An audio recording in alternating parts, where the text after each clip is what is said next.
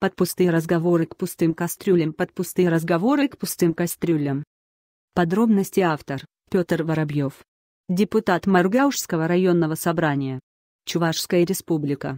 Просмотров. 31 русская деревня на грани вымирания. Но, похоже, нынешнюю власть, разглагольствующую об импортозамещении сельхозпродукции, на деле это мало трогает. В сельском хозяйстве мне пришлось проработать основную часть трудовой жизни, в том числе главным агрономом Маргаушского района Чувашии. Поэтому и не составляет труда сопоставить былое с настоящим. Очень обидно, что наши правители, похоже, и не представляют глубины трагедии, которая постигла наше сельское хозяйство. Смешно слышать заявление В. Путина о том, что в советское время население якобы кормилось мясом от бракованных коров. В одном только нашем районе были десятки тысяч голов скота в колхозах и совхозах да плюс еще большое поголовье в частном секторе.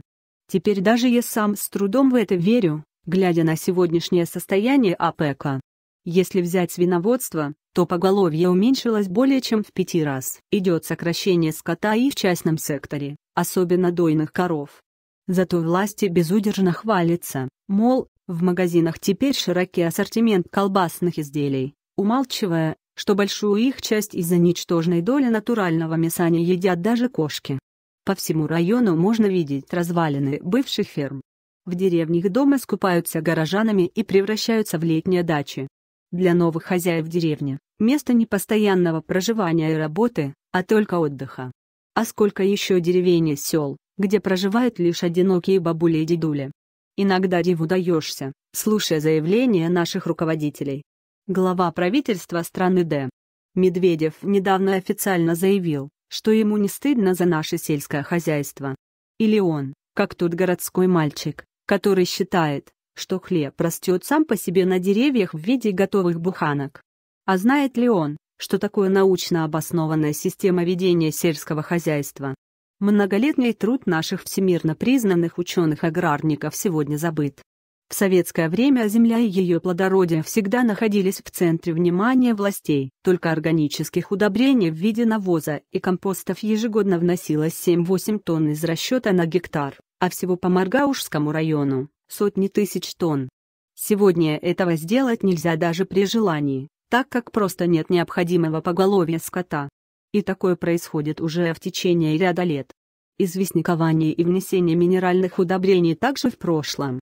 Севообороты не соблюдаются, особенно фермерами, которые из года в год зерновые, в основном ячмень и пшеницу, возделывают как монокультуры. А надолго ли хватит плодородия почв в результате такого варварского выноса питательных веществ? Или мы считаем себя последним поколением на этой земле? Разве можно жить одним только днем? А ведь такое отношение у нас не только к земле, но и к недрам. Неужели по-настоящему дальновидные и умные руководители кормили бы народ сомнительным продуктовым импортом, продавая нефть, газ, лес, уголь и так далее, имея при этом половину площадей черноземов планеты? От стыда можно провалиться, а правителям хоть бы что. Миллиарды тратят на покупку иностранных продуктов питания, вместо того, чтобы поддержать своих сельчан.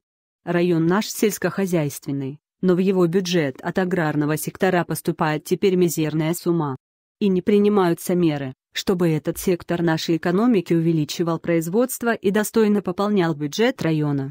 В былые времена Маргаушский район возделывал второй хлеб, картофель, на 10% пашни. На сегодня его площади сократили в 12 раз.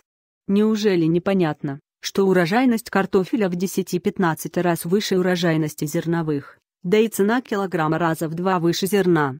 До Горбачевской катастрофы наш район продавал за свои пределы ежегодно по 30-35 тысяч тонн картофеля. По сегодняшним ценам это на более 300 миллионов нынешних рублей. И это были бы сейчас совсем не лишние деньги для маргаушцев. Российские власти ответили на санкции Запада и решили продукты из стран ЕС не закупать.